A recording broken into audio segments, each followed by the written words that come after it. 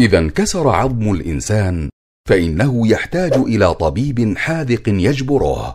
وإذا انكسر الخاطر فإنه يحتاج إلى رجل حكيم لطيف يجبره ويطيبه.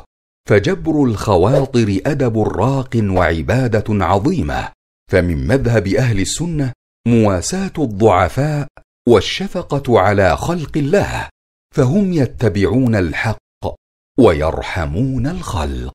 ومن تطيب الخواطر الإحسان إلى اليتيم الذي انكسر خاطره بفقد أبيه.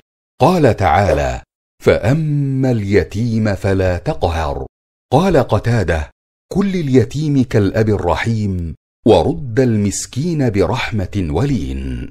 ومنه فرض المتعة للمطلقة قبل الدخول وفرض المهر جبرا لخاطرها المنكسر بالطلاق.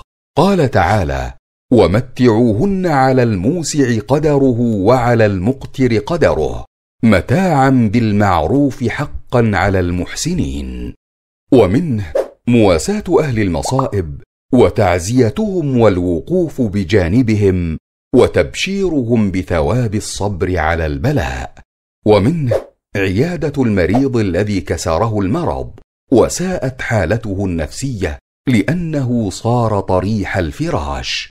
قال النبي صلى الله عليه وسلم ما من مسلم يعود مسلما غدوة إلا صلى عليه سبعون ألف ملك حتى يمسي وإن عاده عشية إلا صلى عليه سبعون ألف ملك حتى يصبح وكان له خريف في الجنة. ومنه إهداء الهدية وقبولها ولو كانت بسيطة من رجل فقير وإجابة دعوته إلى الطعام القليل. قال النبي صلى الله عليه وسلم لو دعيت إلى ذراع أو كراع لأجبت والكراع هو ما دون الركبة من الساق وخصهما بالذكر ليجمع بين الحقير والخطير. لأن الذراع كانت أحب إليه من غيرها والكراع لا قيمة له.